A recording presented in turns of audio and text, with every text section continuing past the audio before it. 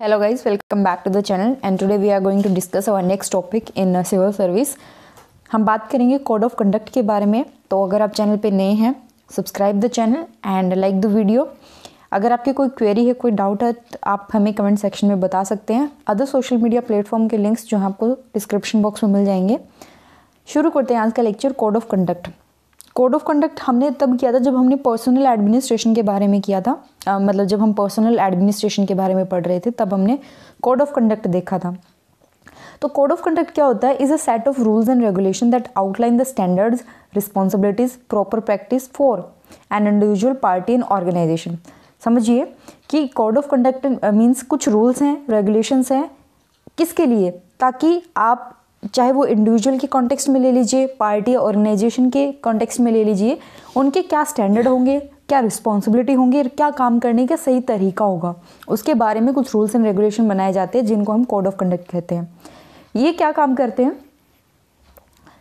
In a way that coordinate to welfare of its key stakeholder and respect the rights of all constituent affected by its operation यानी कि organisation में सारे जो stake holder हैं उनका welfare हो उन काम को कोऑर्डिनेट अच्छे से हो सके एंड जो कॉन्स्टिट्यूंट हैं एलिमेंट्स हैं उनके राइट्स का अच्छे से रिस्पेक्ट कर उन मतलब respect the rights of all constituent जो उस ऑर्गेनाइजेशन के काम से अफेक्ट हो रहे हैं, उनके राइट्स का उल्लंघन न हो और उनको फ़ायदा मिल सके, उनका वेलफेयर हो, इस मोटिव को ध्यान में रखते हुए कोड ऑफ़ कंडक्ट को लागू किया जाता है। The code of conduct for civil servant specifies the clear principles of as to what the government expect from its employ जब हम civil service Indian civil service के कॉन्टेक्स्ट में बात करते हैं सिविल सर्विस ऑफ़ इंडिया के context में तो what does it mean by code of conduct code of conduct for civil servant means कि कुछ ऐसे प्रिंसिपल्स हैं क्लियर प्रिंसिपल्स हैं, जो गवर्नमेंट एक्सपेक्ट करती है अपने एम्प्लॉयज़ से कि आपको ये प्रिंसिपल्स ये सिद्धांत आपको फॉलो करने ही करने पड़ेंगे.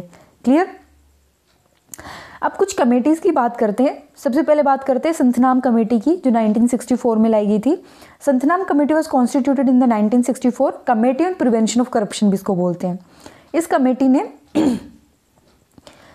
इस कमेटी ने कुछ कंडक्ट रूल्स का रिकमेंडेशन किया था। Conduct rules means particularly those relating to integrity should be uniform ये उन्होंने पहली बात बोली थी कि कंडक्ट रूल यूनिफॉर्म होने चाहिए, खास करके जो इंटीग्रिटी से रिलेटेड हो।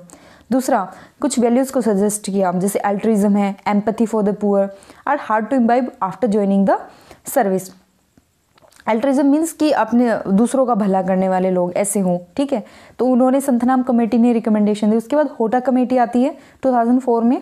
Code of ethics should be laid down for the civil servant to imbue the value of integrity merits and excellence in public service उन्होंने भी यही बात की कि कोड ऑफ़ एथिक्स लाना चाहिए ताकि इंटीग्रिटी मैरिट और एक्सीलेंस की जो वैल्यू है उनके अंदर लाई जा सके सिविल सर्वेंट के अंदर।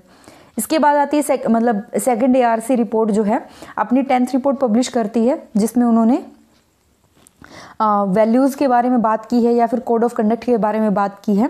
तो second A R C in its tenth pertaining tenth edition या टेंथ वैल्यू सॉरी आप इसकी रिपोर्ट बोल सकते हो. Pertaining to values in ethics of civil service in India recommended drafting a bill on ethics to give code of ethics statutory basis in the form of the civil service bill तो इस report ने ये कहा था second year से ने ये कहा था कि कोड ऑफ़ कंडक्ट जो है, उनके रिगार्डिंग में एक बिल लेकर के लाया बिल लाया जाए, जिससे उनको एक स्टेचुटरी बेसिस मिल जाए. स्टैचू आप मतलब पता होगा आपका? ठीक है स्टैच्यूट मीन्स जिसको पार्लियामेंट पास करती है कैसा कानून जो पार्लियामेंट के द्वारा पास किया जाता है या लेजिस्लेचर के द्वारा पास किया जाता है, उसको स्टैचूट बोला जाता है। तो स्टैचूटरी बेसिस मीन्स उनको क्या है? एक लीगल बेसिस मिल जाएगा सिविल सर्विस बिल के नाम से। इसके अलावा कमीशन ने कुछ रिकमेंडेशन दी थी that in addition to upholding the constitutional spirit the civil servant shall be guided by the following rules कुछ रूल्स हैं कौन कौन से? फ़र्स्ट है adherence to the highest standards of integrity and conduct आपके जो हाईएस्ट स्टैंडर्ड आप मान के चलते हो इंटीग्रिटी एंड कंडक्ट के, आप में मतलब जर्नल जो हैं, वो उनके उनके एडहेरेंस हो, उनको फॉलो किया जा सके। Impartiality and non partisanship that means कि आप काम करते समय पार्शियल नहीं हो सकते, ठीक है? ऑब्जेक्टिविटी हो, काम को करने में रैशनैलिटी हो right dedication to public service empathy and compassion toward the weaker section ये बहुत इंपॉर्टेंट है, तभी आप एक अच्छे सिविल सर्वेंट बन पाते हैं। कुछ प्रिंसिपल्स यूके के अंदर एक कमेटी बनाई गई थी नॉलन कमेटी उन्होंने सात प्रिंसिपल दिए थे पब्लिक लाइफ के। और उसी से इंस्पिरेशन लेते हुए कमीशन ने अपने कुछ प्रिंसिपल्स दिए। So drawing from this the commission has suggested the inclusion of following principle in the code of ethics for civil servant in India और वो कौन कौन से प्रिंसिपल है समझिए।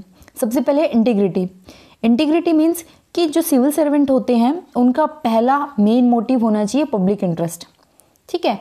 कोई और चीज़ उनके माइंड में ना आए, सिर्फ़ और सिर्फ़ काम को, कोई भी काम करना है उन्हें तो सबसे पहले जो चीज़ उनके माइंड में रहे, वो रहे पब्लिक इंटरेस्ट ठीक है?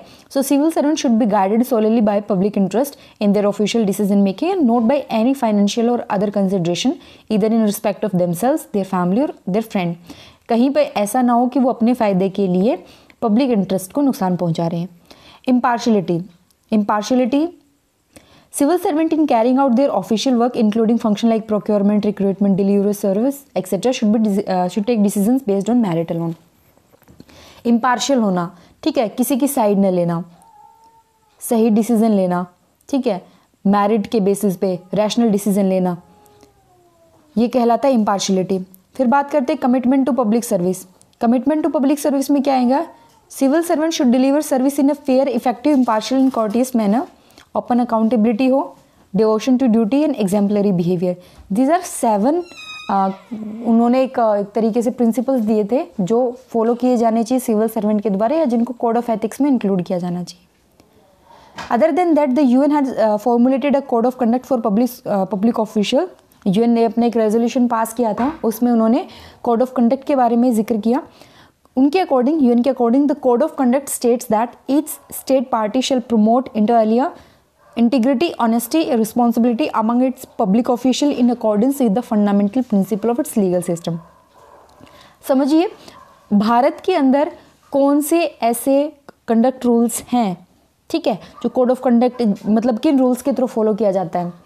सबसे पहले central service conduct rule 1964 all India service conduct rule 1968 and all India service conduct amendment rules 2014 ठीक है? तो ये सारे मिल करके क्या करते हैं? कोड ऑफ़ कंडक्ट बनाते हैं, जो सिविल सर्वेंट फॉलो करते हैं इंडिया के अंदर। तो आज का लेक्चर यहीं पे ख़त्म करते हैं। थैंक यू सो मच नए लेक्चर के साथ जल्दी मिलते हैं। Till then take care and subscribe the channel like the video comment and share as much as you can thank you